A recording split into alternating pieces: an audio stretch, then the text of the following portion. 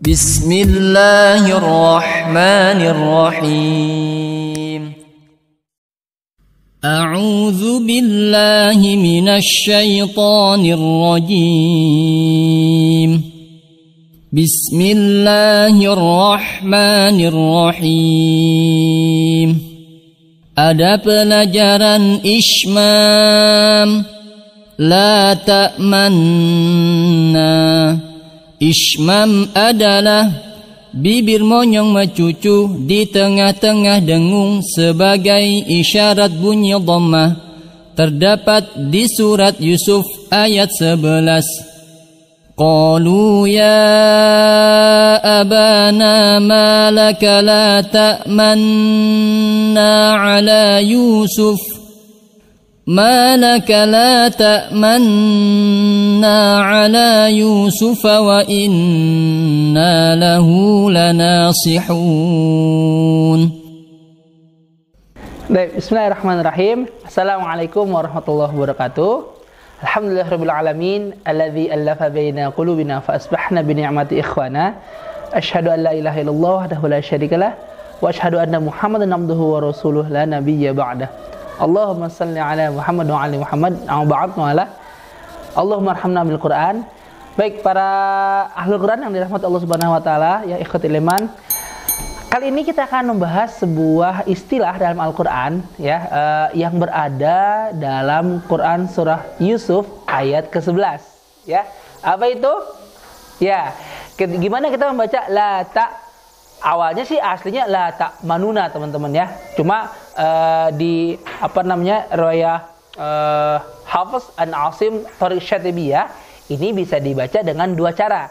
Yang pertama dengan cara ismam dan yang kedua dengan raum. Apa itu?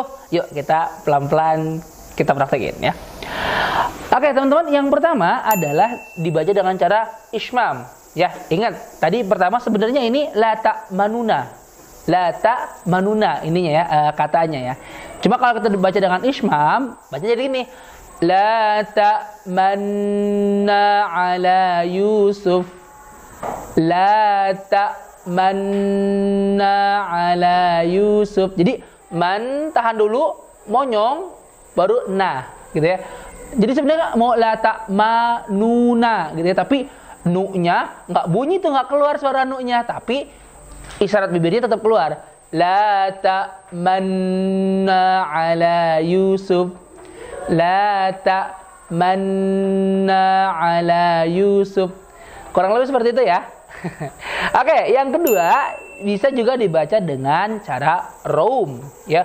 Rom itu nah gini, khusus yang nu-nya aja yang kita baca uh, sebagian harokat aja gitu ya. Jadi uh, apa namanya nggak penuh satu harokat. Tapi ingat nu-nya aja ya.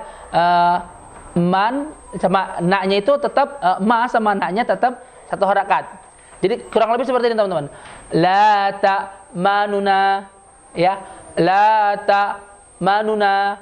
Jadi maknya tetap satu harakat. Kalau dibaca la ta manuna itu maknya uh, juga setengah atau sepertiga harokat gitu ya, sebagian harokat. Tapi pastikan maknya satu harokat, naknya satu harokat nu-nya yang sebagian doang. La ta manuna seperti itu teman-teman ya. Jadi rom seperti itu. Tadi Ismam gimana? La ta manna ala Yusuf. Kalau baca rom gimana?